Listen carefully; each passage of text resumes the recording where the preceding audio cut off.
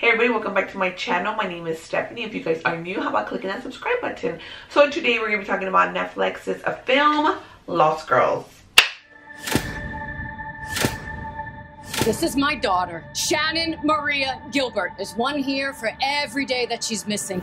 Lost Girls is rated R. It is an hour and 35 minutes long. So Lost Girls was released on Netflix March the 13th. Um, it is actually based on a true story um, upon the book of the same name and it is about the Long Island serial killings. So the story follows Mari, which is, I, I don't think that's how you say her name. I know I'm horrible. If you guys are new, I am horrible with pronouncing names. So I know how to say her real name. So the, story follows Amy Ryan's character and who is on a search to figure out what happened or where her daughter is when she went missing uh, while she was out on a job. Um, her daughter was a prostitute. It's about a lot of ki uh, killings that happened um, in Long Island uh, during this time and they were all sex workers. She's basically being a detective. She is doing police work because honestly the police um, don't want to do anything, don't want to help, don't want to uh, try to uncover what happened to her because she was a sex worker. It's kind of like, well, whatever. She, they're to them, they're like at the bottom of the food chain. Like, you know, who cares that this prostitute was murdered, when missing, killed, whatever. Because at this point, they don't really know what happened to her. She's just literally missing.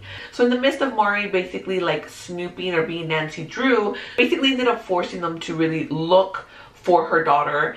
And coincidentally, they ended up finding bodies. It was a total like coincidence that these bodies ended up being found. I really don't want to give you guys any spoilers. I mean, it is based on a true story. I didn't know anything about it. I don't watch the news, so I don't know if this went like nationwide or if it was just, you know, with, you know, that town or that state that this was happening in. I don't know. Y'all can let me know down below if y'all remember something like this. Um, I, I don't watch the news, so I don't know. Um, I watch the news now because, well, semi-watch the news now because of everything that's going on. The police in this movie, you guys, will piss you off because they don't do shit. The movie is more of a duller darker tone type of movie it is uh, uh has a lot of grays in there there is nothing happy about this movie so it's not just about the missing daughter but also you do get a few skeletons that are in um, the closet at home just like everybody who has it so she really had um her missing daughter to think about plus what was going on at home which is actually really sad uh, about one of the daughters who does have a mental illness.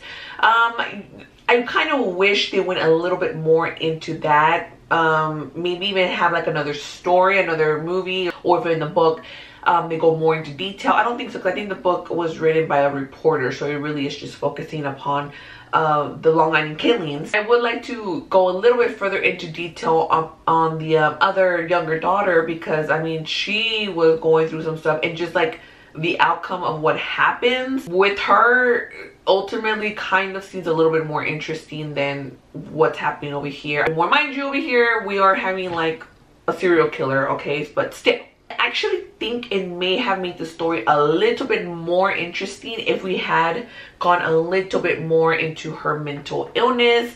Um, it would have I think I think it would have maybe sparked up the movie, the entertainment value just a tad bit more. It's an hour and 35 minutes long and felt a little bit longer to be honest with you. Um, there were certain uh, instances that i did grab my phone so that's really never a good sign. Um, so that's really all i'm gonna say. I think i ended up talking longer than i anticipated to which is what i always do right you guys? Uh, but i mean overall I don't think it's a must watch movie. I'm actually only gonna uh, rate it a small popcorn. I mean, we're in quarantine. Well, a lot of people are in quarantine. We're not mandatory lockdown yet. I don't know if we're gonna be getting that um, anytime soon.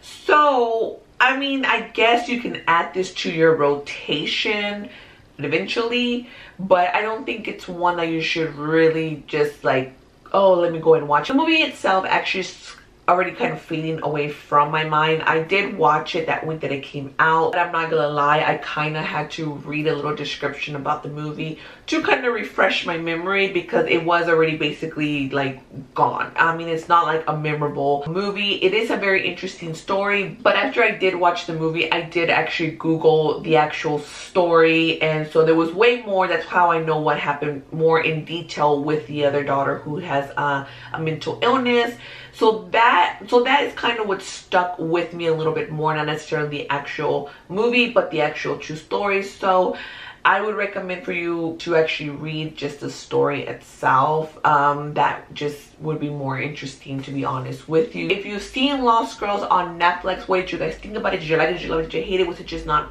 for you? If you read the book or listened to the book, if you're an Audible lover like me, let me know down below how that was. Uh, but that's all that I have for you guys for now. Um, before you guys click on this video, don't forget to like, subscribe to my channel if you haven't yet, and of course, don't forget to hit the notification bell so you'll be notified that I post something new. Stay safe, everybody, and until everything is cleared up, I'll see you guys at concessions. Bye!